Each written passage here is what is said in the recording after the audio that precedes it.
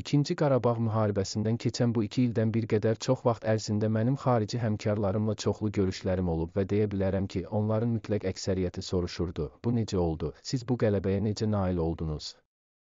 Mən də deyirdim ki, bunu izah etmək üçün gərək siz bizim həyatımızı yaşayasınız, bu 30 ili yaşayasınız. APA xəbər verir ki, bu barədə Prezident İlham Əliyev Qərbi Azərbaycandan olan bir qrup ziyalı ilə görüşündə bildirib.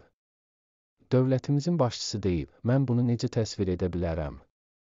İnam, birlik, ədalətə inam, gücünə inam.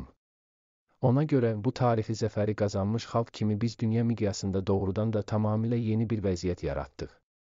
İnamını itirmiş xalqlar da bugün inanırlar, bizə oxşamaq istəyirlər, bizim kimi hərəkət etmək istəyirlər, bizimlə məsləhətləşirlər. Ona görə bugün burada sizinlə bərabər 24 dekabr gününü qeyd edərkən mən bir daha demək istəyirəm ki, biz də Qərbi Azərbaycanlılar da heç vaxt inamı itirməməliyik. İnanmalıyıq və eyni zamanda addımlar atmalıyıq, fəal olmalıyıq, işləməliyik. Gün gələcək, biz Qərbi Azərbaycanda da belə gözəl məclis keçirəcəyik və bu günü xatırlayacağıq.